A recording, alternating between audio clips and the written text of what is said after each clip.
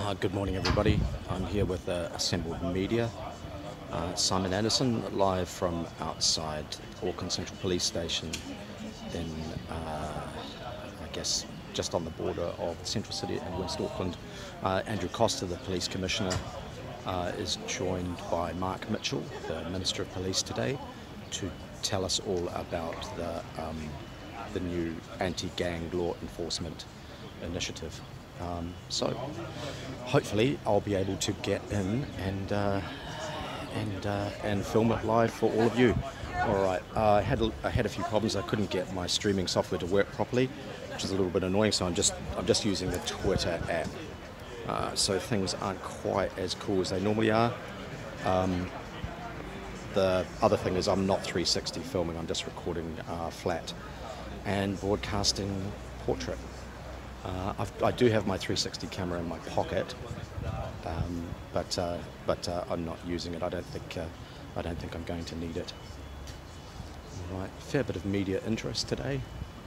Uh, it'll be interesting to see what happens. So, the announcement was scheduled for 11 o'clock. I see it's about 11:05 now, um, and uh, and Andrew Coster is expecting to take um, questions from the media at, uh, at 11.15. So, going to join the media scrum and uh, see what happens. But uh, yeah, it's really interesting with the media. Um, obviously, they all know one another.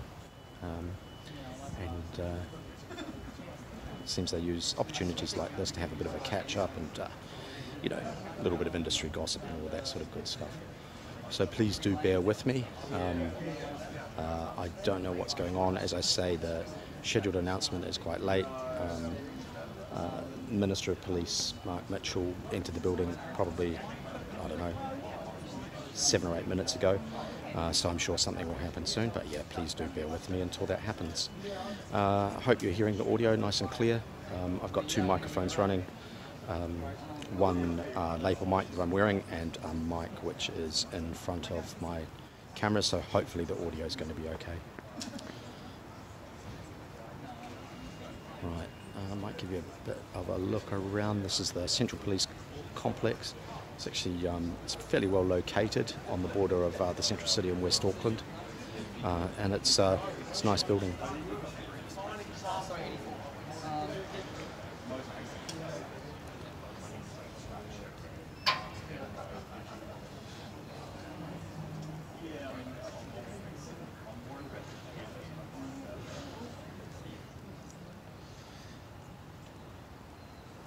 Can see I've got a few people tuning in now. Uh, for those that are just catching up, um, this is Andrew Coster's uh, announcement about gang law enforcement, uh, the new initiative that, uh, that uh, he's going to detail now for the assembled media.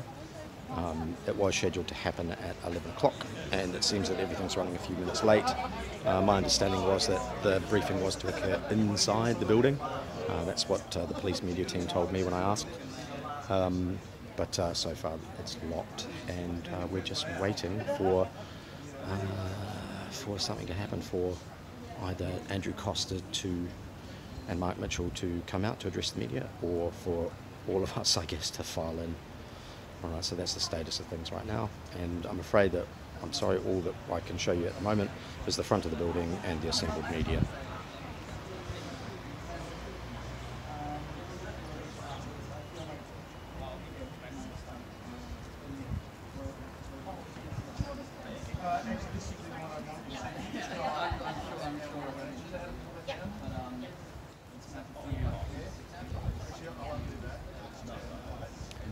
Uh, in terms of my equipment, I'm not recording 360 today. I've just got a handheld, um, which is recording uh, in portrait on my secondary phone. Or rather, it's it's um, recording in landscape for later use, and um, I'm broadcasting to you live in portrait, as I always have to do with Twitter. Uh, something went wrong with with my streaming software Prism. I couldn't get that to work properly, so I'm just streaming live with a Twitter application, uh, which is a bit annoying because it means I can't put my watermarks and bits and pieces on it. Um, and I really wanted to uh, because Jack Harris had created me uh, a really cool lower thirds that I wanted to use. Uh, all right, so look, um, please do bear with me, everyone. Uh, as soon as um, as soon as uh, something happens, goodness, I'll let you know. Well, I guess you'll just see.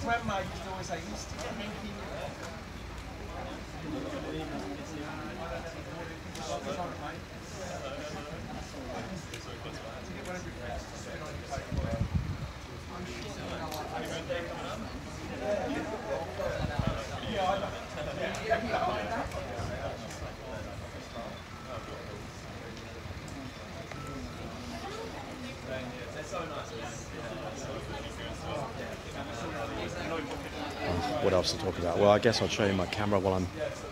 Well, there's nothing much else to happen. Here's my. This is what my 360 camera looks like. Um, and as I say, I don't think I'm going to need it today, so I've just got it in my pocket. And I haven't got um, any. I haven't bought my normal, really long selfie stick. I've just got the one I'm holding. That's got the my my two phones attached to it. But I think they they seem to do pretty well. These like uh, pretty good for streaming and um, and for recording. All right, so it'll be really interesting to hear what questions the media asks uh, after this. I'd be really interested to know if um, this new gang enforcement uh, um, program is going to take away uh, valuable police resources from tier one priorities like, like protecting rainbow pedestrian crossings. Uh, but you never know. Maybe I'll get the opportunity to, to ask, maybe I won't. Oh, looks like here we go. Uh, let's see if uh, they let me in too. Hopefully they do. Here we go. Have you got um, a visit pass on? I don't know. Sorry, you won't be able to come in. Oh, okay. Well, I talked to the media team earlier. They didn't think it would be an issue with. Uh, Uh, if you can sign in, if you've got some Oh, okay, uh, identification and credentials with front counter. Okay, how- this way? Yeah. All right, thanks. Jack. Yep. Okay, so I hope you saw all of that. I need to provide identification and get uh, a visitor's pass, which is fair enough.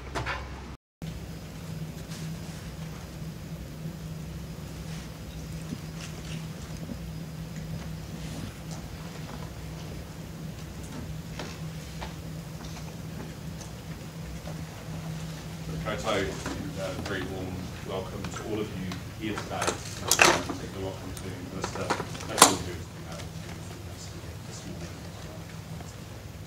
I want to start by acknowledging the incredibly hard work that our police staff do to keep our communities safe. In the face of a changing and challenging work environment, I'm incredibly proud of the work that they do. In terms of the type of our demand, we know that gang members commit a disproportionate amount of crime and harm in New Zealand, particularly in the areas of serious assault, robberies, drugs and firearms offences and homicides. Police has been working hard to combat the impact of gangs and organised crime in recent times through national and targeted district operations, through our organised crime investigations, offender prevention teams and many other responses. You will have seen us focus hard on the policing of gang events to protect and reassure the public. Today I'm announcing the establishment of a national gang unit and district gang disruption units to target crime, harm and intimidation caused by gangs. I've directed that the National Gang Unit be established to enable a continuation of our work and build our operational capability further. The unit will work with police districts across the country, drawing on the successes of Operation Cobalt and other coordinated responses to gang funerals and other gang activity. The National Gang Unit will support district-based staff to plan, coordinate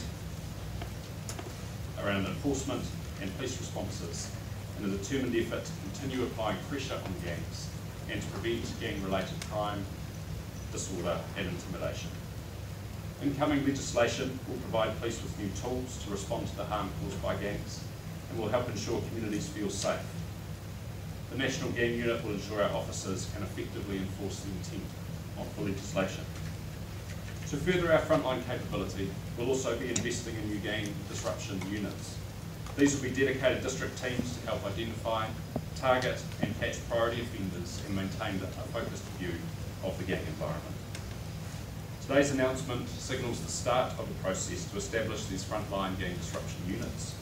Resourcing allocations will be determined through this process in consultation with district commanders and is likely to include a mix of reprioritised and new investment. Policing gangs and serious offenders is an all of police priority. The new gang units will boost our focus and capability, but they're not working alone. Our whole front line is involved in preventing the crime and harm caused by methamphetamine, organised crime and gangs, whether through road policing, organised crime investigations, prosecutions or prevention activity. At a time in the world when safety and feeling safe is an evolving picture in many countries, New Zealand is still one of the safest places to live. But the changing gang landscape means that police will continue to adapt to tackle these challenges head on. Ultimately, it's about supporting our front line to ensure everyone is safe and feels safe. We want to deliver the best results for our communities. Work to implement the National Gang Unit is currently underway. Once complete, the work of Operation Cobalt will be continued through the National Gang Unit. I thank the Minister for joining us here today and just invite him to make a couple of comments. Yeah, thanks, Commissioner. Uh, look, thanks everyone for coming out this morning. This is an important announcement. Um, this is delivering on what is our government's priority around putting public safety now at the heart of what we're doing and clamping down on a serious gang problem that we have in New Zealand. We also saw recently um, the tragedy that unfolded on Ponsonby Road with a um, Killer Beez gang member carrying a firearm and, uh, and killing an innocent uh, member of the public. Uh, we're not putting up with that anymore, and uh, we've got a big program as the incoming government around public safety. This is part of it. On the operational side, of course, we're giving the police additional powers. We've got a, we're banning gang patches. We've been very clear about that. The only reason why uh, gang members wear gang patches is because they want to frighten and intimidate the communities that they operate in. And by the way, to avert the right to wear a gang patch, they have to have shown they've got a propensity to commit violent and sexual crimes. And there is a trail of tears and sorrow sitting behind each one of those um, gang patches. So we put a line in the sand and we say that's no longer tolerable for us in our country in New Zealand. We're giving them um, dispersal notices so that the gangs actually won't be able to gather in numbers. We're giving them non-consorting orders so gang members can't work with each other to organise their next nefarious uh, activities. We've taken those powers from Western Australia where they've been very, very effective in disrupting uh, gangs and where the gangs are actually, and there was a, there was a um, I was recently in Canberra with, um, with Paul Papalia and the Commissioner um, Col Blanch. There was an article that was running on the front page of the paper saying that the leader of the Rebels gang was leaving the gang because it had just come too hard. And we want gang members to leave the gangs, and we'll actually help them, especially those with families, to actually come and rejoin society in a positive way. But we want to send out a very clear message. If you continue to um, uh, uh, peddle um, drugs, if you continue to perpetrate violent sexual offending um, in our community, if you continue to break the law and think you're above the law, then under this government things are going to change radically. And I want to acknowledge the Commissioner and I want to acknowledge the announcement today because these um, gang disruption units that are going to be based in the districts um, supported by the gang unit um, centrally are going to be very effective in making sure that if a gang member or a gang pops their head above the parapet, then the police are going to have a strong response um, to deal with that. So look, I'll, I'll wrap it up there and, um, and we'll go out to um, any questions that uh, you might have for us. Minister, can you tell us how much is this going to cost? And how many people are we thinking of, of being in these units, both regionally and at the national level? So how much is it going to cost and how many people? Okay, so I'll just cover the cost bit, and then I'll go to the commission on the operational side of it. So we've been very clear that we will continue to invest uh, in our police, and we've been very clear that we want resources on the front line. So, um, but a lot of that is budget sensitive, and you'll have to wait for the budget announcement um, at the end of this month. Um, but we've been very clear, and the Minister of Finance has been very clear, that we are going to continue to uh, make a substantial investment into police, and that includes an additional um, 500 uh, frontline police So you expect this to be a budget priority in terms of cost? Well, you, uh, uh, like I said to you, you'll have to wait until the budget, um, which is the end of this month, to see how that has actually been, how that's been put together in terms of where the prioritisation is going. So what exactly will these new powers be? Well, you're talking about the powers that we took that are in front of Parliament at the moment. Well, banning gang patches and, and gang insignia, so it means that gang members no longer will be able to wear gang patches or gang insignia in public. By the way, um, I, I took the law through Parliament in 2013. It was a members' bill by Todd McClay, and it banned gang patches in schools and hospitals and public buildings, and, um, and it's been effective. So what we're doing is we're just extending this to all public spaces. Dispersal notices, which will give the police the ability to be able to break up large gathering of gang members, they'll have to leave that place or any other designated place. They won't be able to return or come together within um, seven days. Do those Commissioner, can we just go to staff? Sorry, oh, sorry, yes, but do those orders go through the courts? Or So- do so- those orders lay with police in the first instance? How will they work? So, so all of that legislation is currently before the select committee, um, so they are dealing with that and that detail. Um, some of the orders will go through the courts, others the police will be able to have the ability to actually apply that, um, order themselves immediately, um, verbally. Commissioner, how many staff are going to be in these units? And you talked about reprioritising and moving people. So what kinds are less important that you're taking staff from here? The announcement today is the start of an engagement process with our teams and districts, so I'm not going to go into uh, fine detail on this, but this will be a mix of reprioritisation and potentially new investment, subject to budget decisions. So Uh, what we percentage, envisage, what percentage reprioritisation? Uh, I, I suspect we'll end up with about 50-50 mix across this whole model, but um, we need to see where those conversations get to. Uh, we will be looking particularly at uh, how our intelligence is focused to ensure that we're able to collect the right information we need on uh, gangs locally. Uh, and we have a range of groups uh, working across different investigative, prevention, response priorities that we will be able to consider for contribution in a very focused way on gangs. If you're taking fifty percent of these staff from other operations, um, are they doing work that's not important at the moment? Uh, there's always opportunity to reprioritise, and we've been uh, very clear about the need for us to refocus onto core policing priorities. Uh, police has become very spread across a wide range of prevention functions. Uh, some of those functions can properly be argued are not the domain of police to deal with, so we will be uh, So looking. you're doing stuff at the moment that's wasting your time? Not wasting our time, but that uh, can really be said to be the role of other uh, Is that agencies. mental health audits? That's one of the areas that we've called out where we are responding significantly uh, to crises that don't require a police intervention. But we didn't fill the gap for those mental health Well, clearly there are others whose core responsibility that is, and we are engaged in those conversations presently. Um, but police is not the right resource to be providing um, response to mental health crisis where there's no physical threat to safety. What else? That, that, What else? that, we that, just, just really quickly, that question, that's an ongoing piece of work, um, as the government, because police have had to deal with a sixty percent increase in mental health call-outs.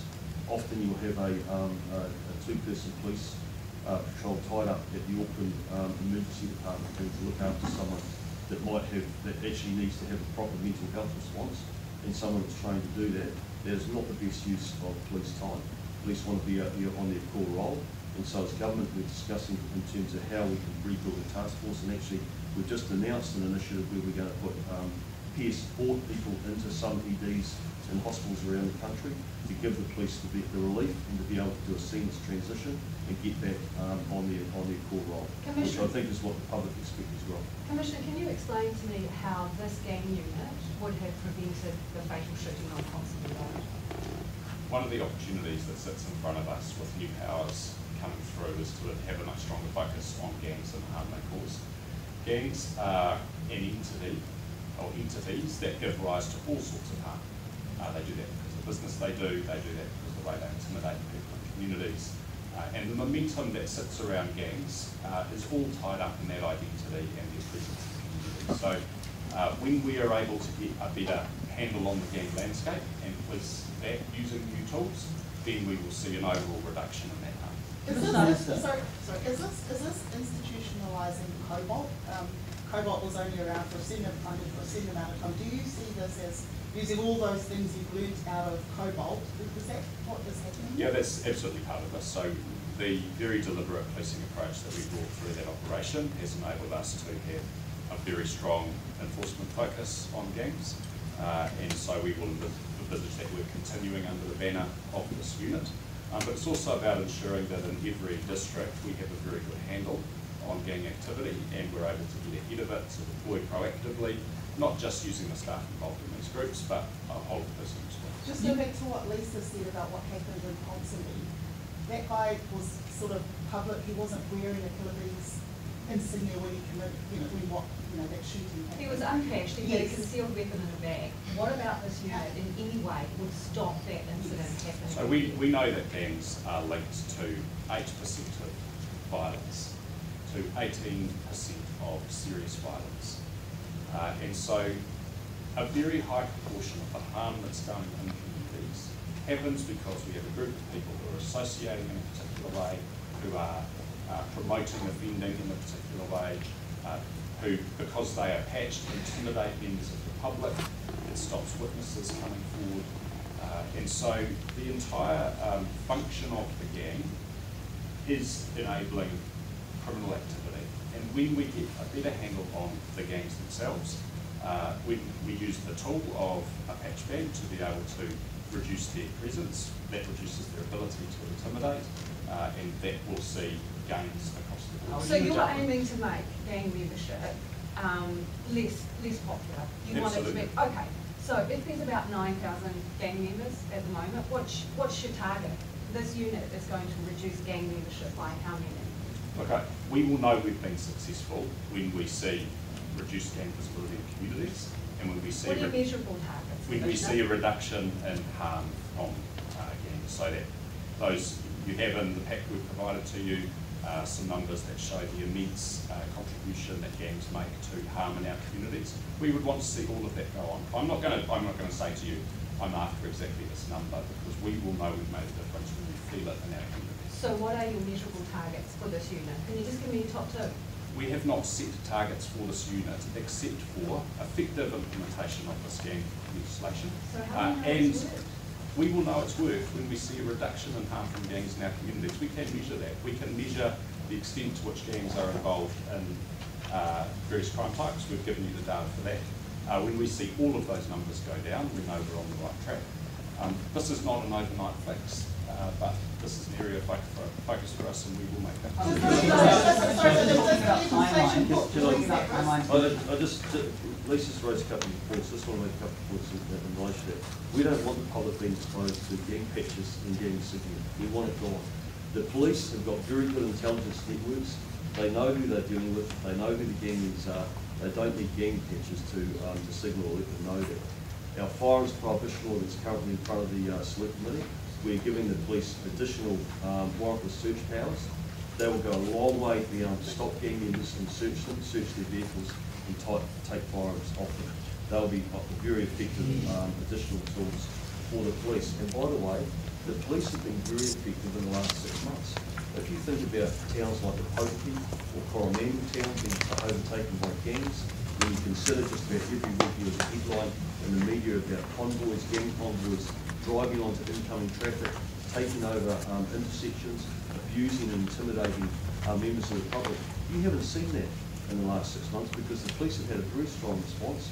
They've been putting resources Yesterday, in. Minister? Pardon? Yesterday, Minister? How many officers Yesterday- yesterday was- was four arrests? Ye- Yes, yesterday was extremely successful. I was down in that community yesterday, and the feedback was positive because the police had the resources there and they policed that event properly. But there was a lot of they- gang they- members They flaunting prioritised. patches there. How would you deal with Because that? our gang patches ban hasn't come into place But how would you deal with that if, if that happened after that Do? Well, do you it's expect quite police simple. to be put, do you expect police, and, and it's why either of you, to be put at risk because of, uh, they have to enforce these new powers?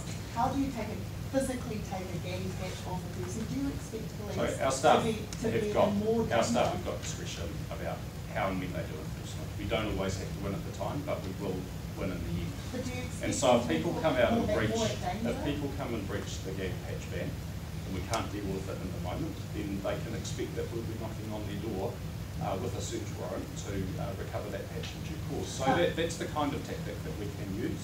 Um, in the end, police have a job to do here. When this law passes, we will enforce it.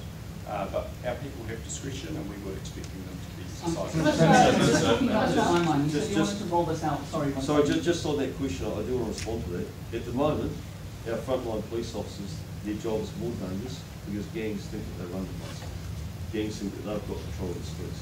The best way to make public safe and our police safer is to actually enforce the law and make, and, and, and, um, make the gangs understand that they're not above the law, that they have to respect the police, Is that there they an don't get appreciation trampled that over the this rights may of the make public. police lives, put them more in danger No, because of orders they're Me, me personally, me personally, no, I don't, and I'll tell you why, because the commissioner made a very good point. It's regardless of what legislation is in place, police have always had the discretion as to when they use that, um, that legislation. That has not changed. And they, they will base their decisions around staff safety and how they implement it. But I think that it's going to, without a doubt, we've got a world-class police service that's got deep capability and will be, without a doubt, is able to actually implement the laws that we've passed. So with that in mind, what's your message to people who see these measures that you're trying to put out there but still feel unsafe in their community, and that's for both of you? Well, that, that's a genuine feeling. Um, we are completely sensitive to that. And that's why, we've that's why as an incoming government, we've got a massive program around public safety. We're putting victims back at the centre of our criminal justice system. We've just made a, announced a one point nine billion dollars into our correction system to build capacity, more staff, pay them, and also a big focus on rehabilitation. So they've got a good chance of reintegration, and actually that has got a contribution towards public safety as well. So the Commissioner has just made a very good announcement today showing intent in terms of what we want to do to get on top of the gang problem in New Zealand, and that is what we're doing. Is this, is this similar, is this similar to, sorry, is this just, Can I just that from you as well? Um, just, uh, Yeah, what's so your message to people? The who- visible presence of gangs in our communities leads to significant fear. And this is not isolated to particular parts of our community. Uh, I have had the opportunity to engage with communities right across this country. And what I consistently hear is that the presence of gangs makes people feel fearful. The patch sits right at the heart of that. And so we welcome the opportunity to make a difference in terms of uh, those feelings of safety. And so you said you want to roll it out as soon as possible. Do you have a rough timeline? How soon can people see this unit in action? The national unit will be stood up by 1 July, uh, and the district units will, will stand up in the months following between then and when the legislation comes into effect. So What uh, it's relatively Commissioner? What districts? I envisage that uh, almost certainly every district will have a team, uh, but we will be looking at where the demand sits, and our geography means that um, the solution might be a different in a very spread geographical district compared to one that is uh, less so. So we're working through the details of that, but you can expect that this will be uh, the kind of capability that exists right across the country, uh, but focused sorry. on where the game home is. You said in twenty twenty-one not, that we have to be careful not to be fixated on gang things because nine percent of people that you're arresting, charging high criminal acts like record number, drugs and stuff, um, were not gang affiliated. No, they're not going around wearing gang patches. So Um, we're not going to stop going after organised crime and the people who distribute drugs in our communities. There is significant overlap between organised crime and gangs, there's no doubt about it. Uh, the thing about gangs is the fear that they create uh, and the environment that they foster for drugs to be distributed at the street level in Do communities. you So think anything's changed between that time, twenty twenty-one and now? uh, we have got a very clear priority from the current government about a focus on gangs, and we've been given new tools that we are going to use to achieve that outcome. Uh, in the end, you know, gang membership is not an offence. Shortly, wearing a patch will be. That's a great opportunity for police to make a bigger difference. But Minister, I wanna Minister, ask- would you say haven't this is similar to- haven't got an would you say this is- how many So staff. I'm just, we might just come over here if. Yeah. Would you say this is similar to Strike Force uh, Raptor in New South Wales, which National's been trying to push for years? I hope so, because Strike Force Raptor in Australia is very popular uh, with the communities over there. That normally when the gangs um, start to break out in gang warfare, the communities immediately asked to have Strike Force Raptor uh, It's- it's also been- they, they, they solely um, focus on, on gang harm and gang offending and organised crime. Um, I, I think coming back to the question, it was a very good question, is quite simply um, the, the, the Commissioner is responding to um, the priorities of the government today. There is a new government, and we've been very clear about the fact that we're putting victims at the heart of our criminal justice system, and that we want now to suppress and start getting stuck into organised criminal groups, gang, and the violence that they perpetrate in our country. And we want to get on top of the violent retail crime that we currently do. So Minister, did you instruct the Commissioner to establish these units? Well, have you, have you read my letter of intent that I released publicly to the Commissioner? It was, it was, it was very clear, no, I, I, he, that is operation. That has been his decision, uh, and his decision alone, and, um, and that, uh, operational, uh, independence is very important. But in my letter of intent, I was very clear, it is the incoming government, victims of the of criminal justice system, public safety is number one. Uh, law-abiding citizens will have their rights protected over and above those gangs that want to break the law and think they're above the law. And we want to see actions taken in a positive way to to start to get on top of the problem that has grown out of control over the last six years. Just Just for for the the commission, commission. there the number of. I just wanted to give some people an opportunity who haven't had one yet, so I was Yeah, going to um, just for the commissioner, in terms of prevention, depending on who you ask across political spectrums, across policing, it will look quite different. So what is your definition of prevention for gang? Uh, So within the Policing Act, one of our statutory functions is crime prevention. That's a very broad statement. You can construct that quite narrowly, you can construct it pretty broadly. We have had a pretty broad frame on that in recent years, and that has seen us spread very thinly. So what we're in the process of doing is drawing that back in. Uh, it's not to say uh, that prevention's unimportant, it remains a a key function of ours and we will continue to do it. Uh, but you will see police focused on the things that are more uniquely what police can do uh, and looking to others in the community to do the broader, the broader. And, and in terms of, in terms of resource allocation, um, are you worried about conflicting interests for the police? Obviously, we've seen um, major crime rising within Auckland. Um, we've had multiple different issues, as well as this gang unit now. A lot of gangs are centred heavily in the regions, away from major cities. Are you concerned at all about pulling officers away from the major cities to go there? Look, we're quite used to moving staff around to focus on priorities where they sit, and we know that in some parts of the country, we will need to um, move support in to enable uh, staff in smaller towns to be able to deal with this issue.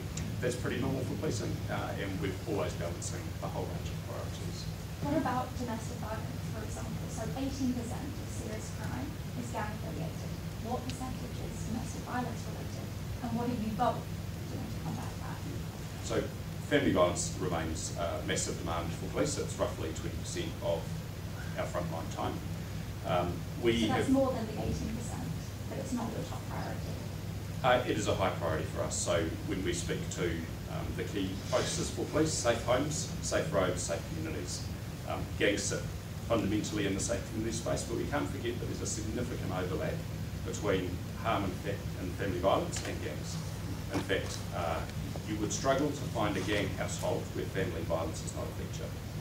Uh, and so by focusing on gangs, we, we actually also impact positively on family violence, uh, on future youth offending, because many of our young offenders will come from homes like that, uh, future imprisonment, future gang membership. Uh, we will continue to focus on family violence, and, and I want to be really clear, when we are um, focusing on court policing, if someone is at risk of violence or experiencing violence, that's very clearly a police job and a police response. Where we are looking for support uh, from others is dealing with family dysfunction where violence is not a feature. How many Commissioner, how, how are they going to be different? I just need to, Well, I need could to you have a Commissioner, few. some But point, that- how are they going to be equipped? How are they going to be equipped? Are they how are they going to be different from just regular cops on the beat? Um, so these staff will be selected uh, for the right skills. Um, that will probably be in the areas of intelligence, potential investigations, uh, and in terms of frontline policing. Will they have firearms? Uh, they won't be armed per se, but we do have uh, a whole lot of new capability that we haven't had in the past around offender prevention teams who are tactical operators. Uh, they would work alongside these groups uh, under the squad. So we will supplement, uh, the, and we will need supplement these teams because they're not going to be big teams. They're providing the nucleus for action, but all of policing needs to support, and that will include tactical The, capability. the- the- the one thing I'd say is, is don't underestimate or diminish the, um, the training, the abilities of all our frontline police officers in whatever role they're deployed to. Um, they're world class and, uh, and capable in, in dealing with, um, any, uh, event that they get thrown at them in their role, everyday role as a, as a police officer. Just coming back to the question, a very important question around family harm. So, um, a a cornerstone of our belief, um, as a government is social investment. And you would have seen an announcement with, um, the Honourable Nicola Willis, um, who is heading up our social investment. And that is quite simply in our country, we have got intergenerational harm that we have never been able to really get in and fix. And, uh, and this government has got a big focus on identifying where we can make an investment, uh, in these people, in these kids, to make sure they've got the best fighting chance of realising their potential, rather than being on a fast, um, uh, the fast track into the youth justice or the adult justice system. And that's a big piece of work, but the work that the Commissioner and I have to do as, as Minister of Police in support of that is to deal with the hard, crunchy bit, and that is just the violent crime that suddenly is, is, that is besetting our country. at. So why is this new unit being announced today? On the back of the Ponsonby shooting or just? This has been in planning for months, uh, so we have known uh, with new legislation coming uh, that we need to be able to set up in the right way to deal with that. So Uh, that was a, a catalyst that's been on the cards for a long time. Um, there's no particular magic in, in the time of the announcement today. And Commissioner, you talked about how the armed defenders squad would help out and other people would move around there. If we're looking at the core unit, how many people are going to be involved in that? The, the, so we'll have the national unit, Yeah. which I envisage will probably draw in resources of about 25 to 30. Uh, we will have district teams. Each team will be about seven people.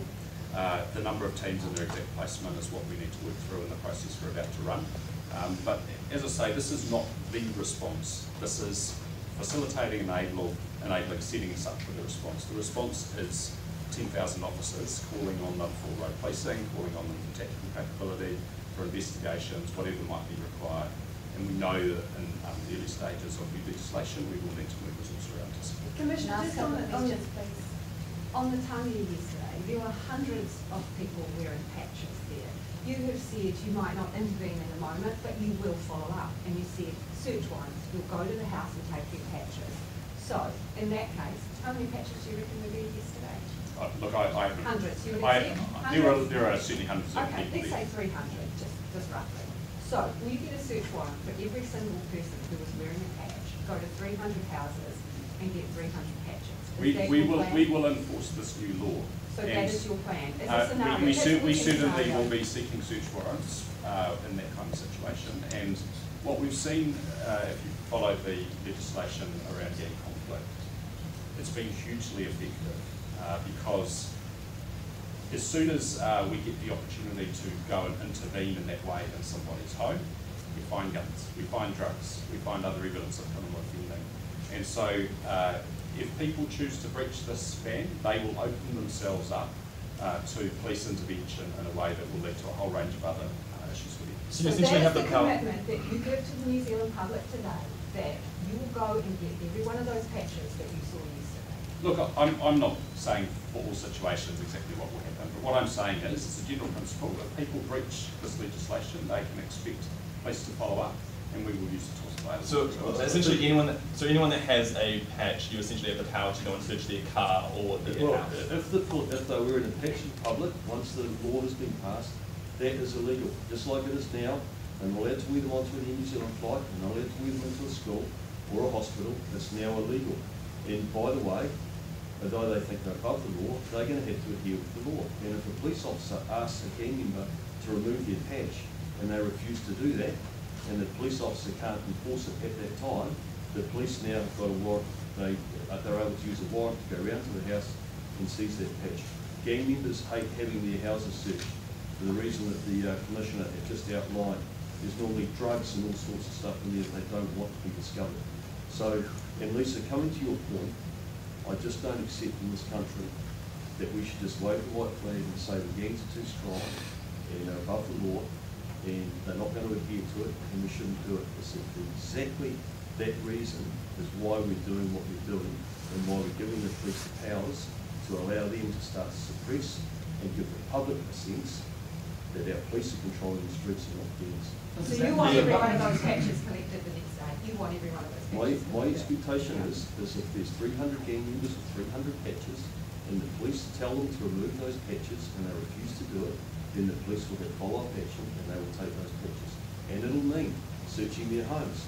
And, and by the way, the police, uh, uh, have got a deep capability that everyone seems to be ignoring, and they've already shown that in the last six months, in the way that they've been policing these gang convoys, where they've been putting checkpoints in place, they've had the resources there, they've been using Eagle, they've been arresting So people on warrants, they've been, Minister, why did they need to call it something else, like a national gang unit and district units? Why can't you do all of this as you were doing it now? well, then, then again, it's not a racial question for, um, the commissioner, but what he's doing is he's responding to the incoming government's expectations around putting public safety and victims of the heart of criminal justice system and putting pressure and suppressing and disrupting and creating as much harm, as much disruption as we can to, um, these organised, um, criminal groups.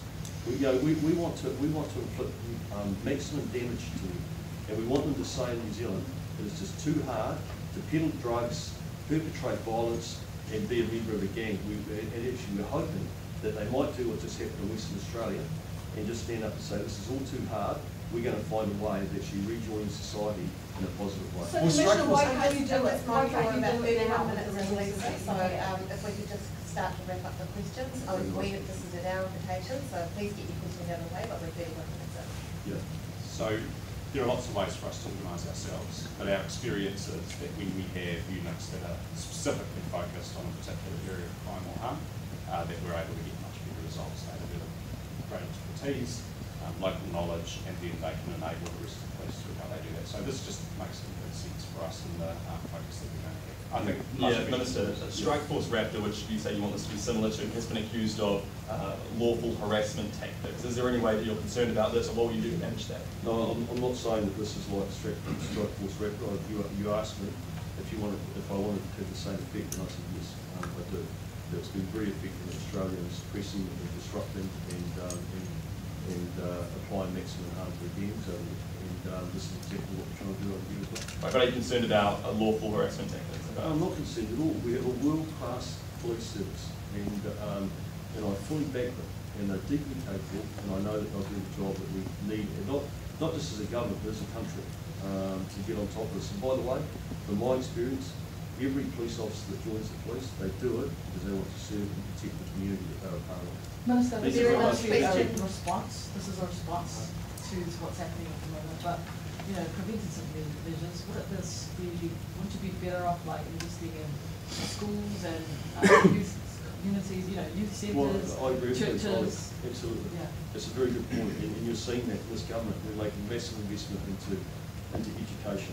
Um, the Honourable Nicola Willis is heading up our social investment unit, and that is bringing the whole of government together and identifying where we can make investments, an investment into Kiwis' lives, especially those families with intergenerational harm, um, where the kids haven't really got a fighting chance. They're probably on a fast track into the youth justice system, making that investment much earlier to allow them to be um, a part of society with, um, you know, that can sort of take advantage of all the great opportunities that our, that our country offers. So that piece of work, like I said, is the cornerstone of what we're achieving. And in the long run, that's the work that'll make the biggest difference in terms of reducing the amount of people coming into our criminal justice pipeline. But the piece that we're talking about is having to deal with that hard country that's in front of us right now. And that is uh, unacceptable levels of violent retail crime and totally unacceptable levels of um, gang-related harm, violence, and crime in this country. And there is, I did promise the very last question to the chair for the front row. Oh, um, Minister, if you were talking about the effort that police have done in the last six months to Yes. tackle this, why say we're waving the white flag? No, no, I was, I was, I was using that analogy to, um, with Lisa because, um, the way that she had put the, um, question to the commissioner is that, and what, and the narrative that's been in this country, actually, since we've been debating this, is that the gangs are too strong, um, they're above the law, there's no point in us passing this legislation because they're gonna ignore it anyway. And to me, that's waving the white flag, and I'm not prepared to wave the white flag. I love my country as we all do, and I'm not willing to accept the fact that we can have a proliferation of gang members in this country that carry firearms, that are willing to use them and perpetrate an enormous amount of harm. Um, it's completely disproportionate to actually the, the size of, um, of the gangs that we have here, and we've been very clear that we're gonna clamp down on that, and, and victims and public safety are coming back into the heart of what we're doing. All right. Thanks very much for your time. very much. Thanks, guys.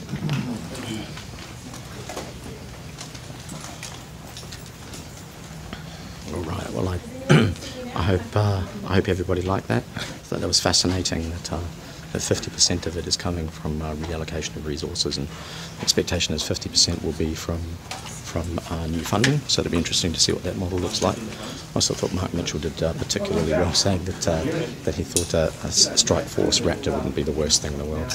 Right. I'm going to end the stream and. Uh, Hope everyone enjoyed uh, another episode of Simon TV. Talk to you later.